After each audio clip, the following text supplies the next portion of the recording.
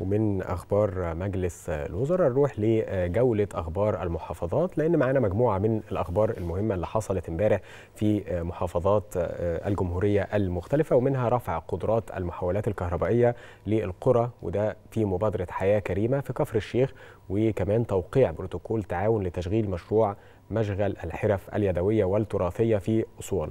كمان معانا أخبار تانية كتير هنتابعها من خلال التقرير التالي.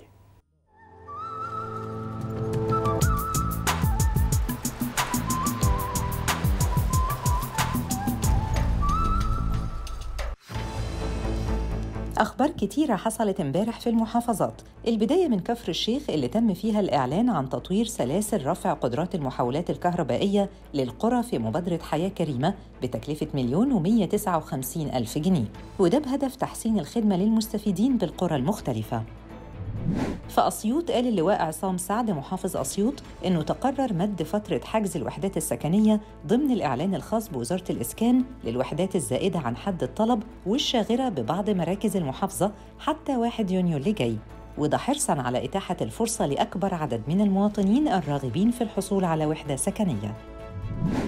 امبارح فاز منتخب كرة القدم الشاطئية لجامعة كفر الشيخ بالمركز الأول وكأس البطولة في منافسات مهرجان الجامعات المصرية للمتميزين رياضياً بمطروح. المهرجان أقيم تحت شعار شباب جامعات الجمهورية الجديدة وشارك فيه 140 طالب وطالبة من تسع جامعات.